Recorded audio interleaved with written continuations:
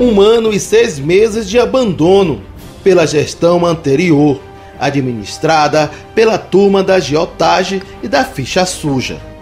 Veja nessas imagens de arquivo como eles deixaram a estrada e ponte do povoado Pau d'Arco durante um ano e seis meses.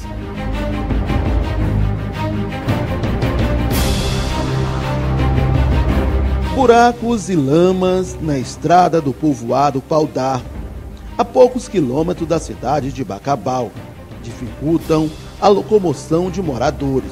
No meio da estrada, os buracos se tornaram verdadeiras lagoas.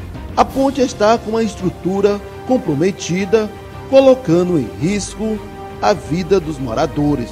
Esse pedaço de madeira foi colocado para a passagem de pedestre e motocicleta, porque quando chove não dá para passar pelo desvio feito pelos moradores. A ponte pode desabar a qualquer momento com as fortes chuvas.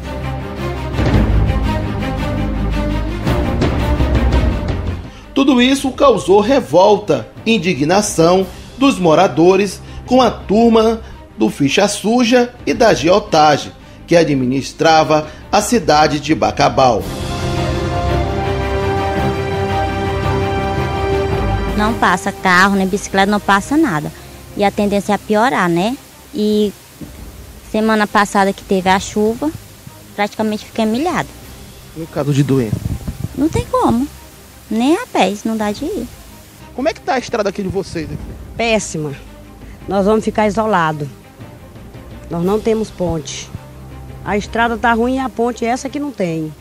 E dá para ver as ruas também aqui da comunidade também. Tudo estragada. Agora há pouco nós conversando aqui em off aqui, a senhora chegou a até pra gente é que o ex-prefeito Zé Vieira, em campanha junto com o Florencio Neto, veio aqui, disse que a primeira coisa que ele... Se ele ganhasse, a primeira coisa que ele ia fazer, não ia fazer muita coisa, mas a estrada ele ia mandar ajeitar, ia fazer um posto anestesiano. E quando essa ponte aí caiu, teve gente, eu mesmo não fui não, mas teve gente daqui que foi. Zé Vieira. Não sei se foi lá, sei que foi, pedir para ajeitar a estrada.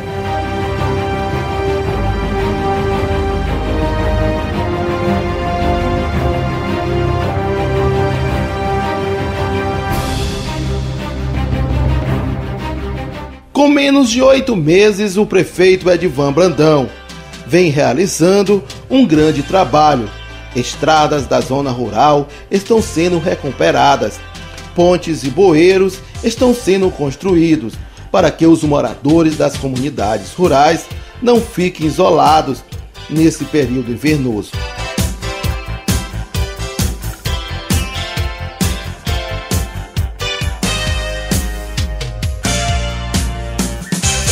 Essa semana, o prefeito Edvan Brandão, acompanhado da vice-prefeita Graciete Lisboa, de vereadores e secretários, estiveram no povoado Pau d'Arco, levando esperança para a comunidade que foi abandonada pela gestão anterior. O prefeito Edvan garantiu a construção da ponte e melhoria da estrada do povoado Pau d'Arco.